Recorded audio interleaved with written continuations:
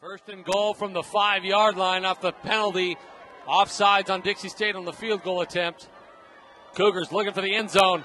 Watson wants it. Breaks inside the five. He's in there. Touchdown, Cougars. Terrell Watson on that five yard run has tied the single season GNAC record with his 18th touchdown of the year. From five yards out, Terrell Watson couldn't get it the first time, but he got it the second time. The Cougars are now an extra point away from tying this ball game. I would think you're just going to hand the ball to Terrell Watson here and see what he can get. Here's the scene. You have 22 seconds left. 2020 is your score.